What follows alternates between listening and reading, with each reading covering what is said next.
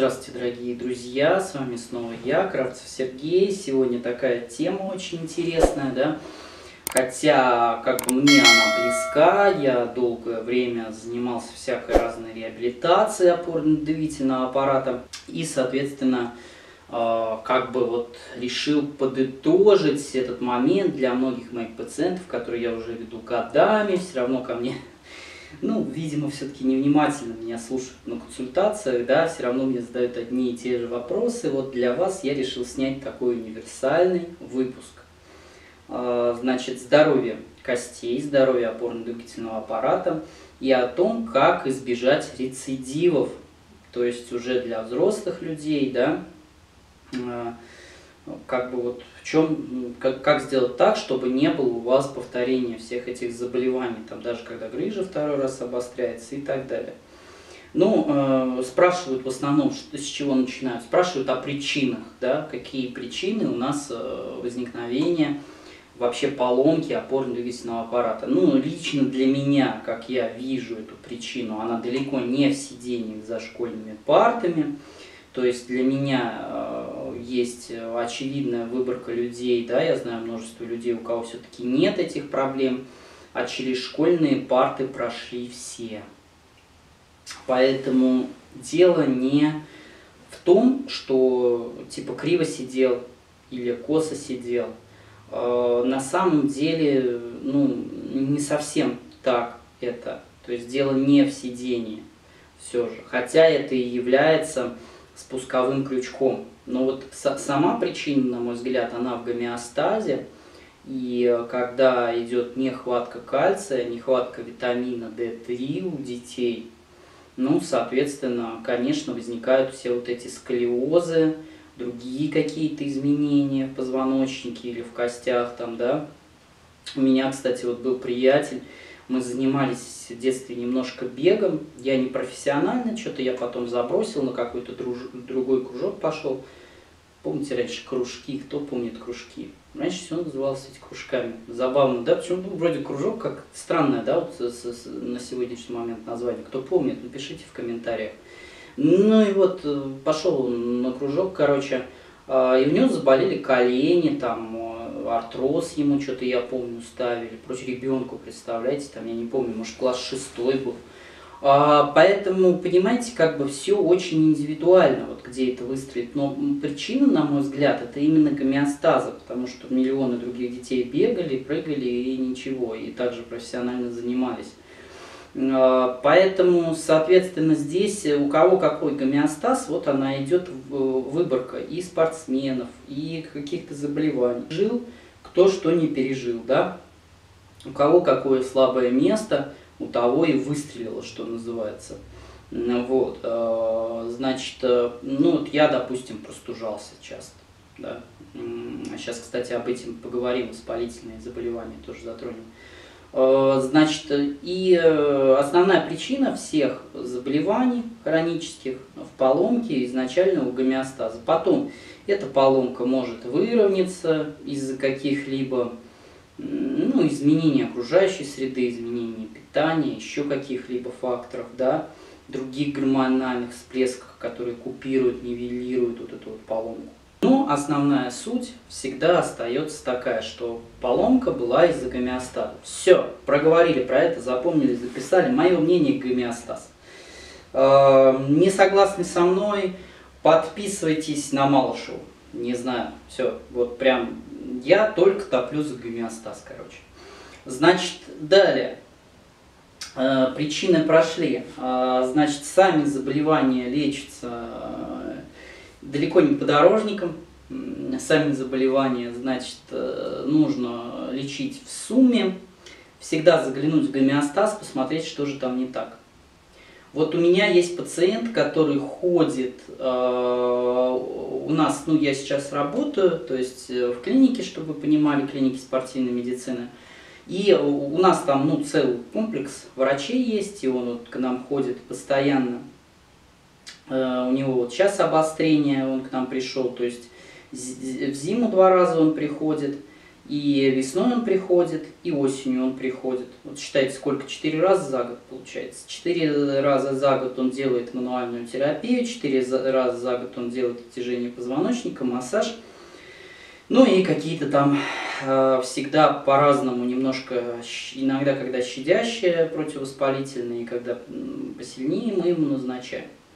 Я ему всегда проговариваю, что это ваш диабет, который у вас идет. Ну, такой у него короче, там он подлечивается непонятно чем, вот, но э, нормально диабет не лечит. А, значит, э, естественно, это ваше там питание и так далее. Я им проговариваю, что чтобы нивелировать диабет, надо, значит, э, ну, наладить образ жизни, убрать алкоголь. Потом я ему всегда проговариваю про то, что вот историю с диабетом – надо пролечить, и там еще куча разных вопросов по гомеостазу вылечить, потом сдать на микробиом анализы, да, соответственно, понять, какая микробиота живет, сейчас мы вот это тоже обсудим, это залечить. Тогда как бы и рецидивов, ну, шанс, по крайней мере, что они будут так часто появляться, э, появляются, нивелируются. Ну, ему не совсем интересно этим заниматься, и, соответственно, как бы ну, не нравится ему. Вот нравится ему четыре раза посещать наши процедуры. Ну, нравится, так нравится.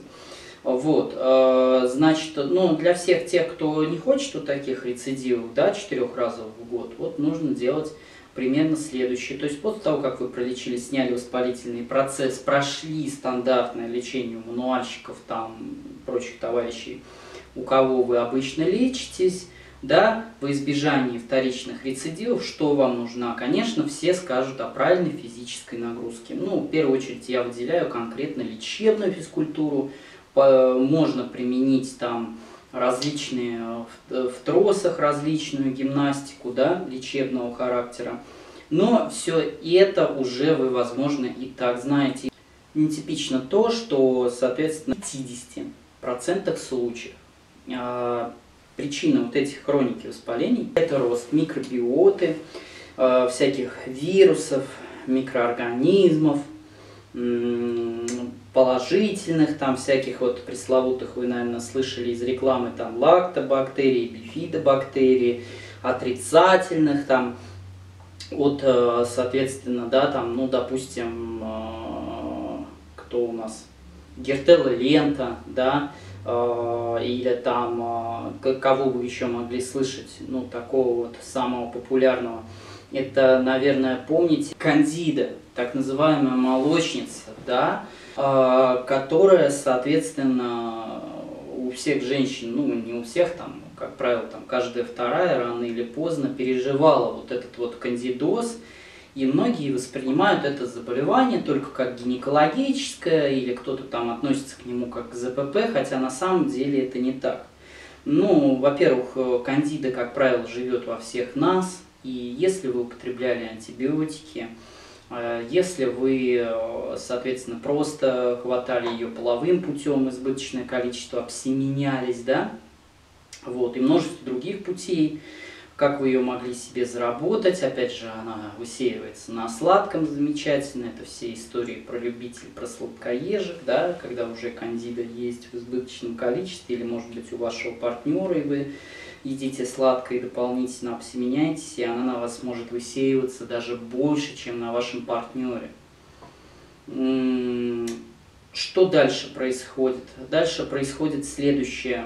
А, есть такое понятие, как системный кандидоз, то есть он может быть на коже, на волосистой части кожи, головы, шелушения э, и так далее. И э, мы получаем, ну то есть вот везде он на полости рта может быть, и мы получаем сдвиг и э, да, целое, ну, целое системное заболевание, когда у нас сдвигается, все начинаются проблемы заболевания кожи и слизистых.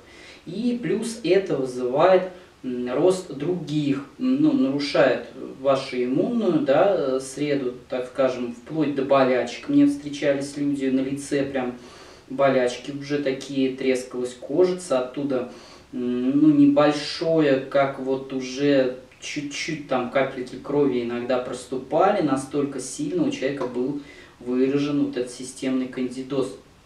Э, соответственно, туда тоже может что угодно залетать, иммунная система нарушена, микробиота тогда была вообще ужас как нарушена, э, соответственно, что-то может присоединиться вирус Эпштейна, бар, допустим, да, это все герпетические истории, и так это по, по нарастанию идет. Есть хронический воспалительный процесс в этом случае, безусловно, есть. Пока вы не пролечите вашу микробиоту, пока вы ее не нормализуете, а это процесс долгий, если интересно, я сделаю вкратце об этом более подробный выпуск, ну, будете ловить эти воспаления, потому что оно внутри вас, как бы это воспаление не затихает, постоянно живут вот эти вот вкусняшки разные у вас.